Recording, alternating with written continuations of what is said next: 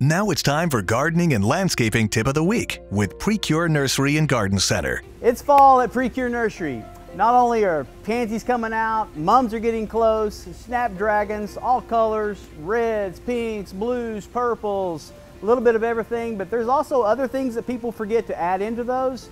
Um, we have Dusty Miller to get some grays. You can also still use begonias. You can use the vibrant purples and pinks and petunias. Also a good time to get ready for your Halloween or fall decorations pumpkins. Uh, mums is always a, a, great decoration.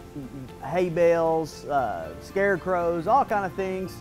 Uh, and always uh, remember to come back with bone meal and get those things fertilized. We are proud to be the garden expert for KFOR TV. For more information, go to kfor.com slash precure.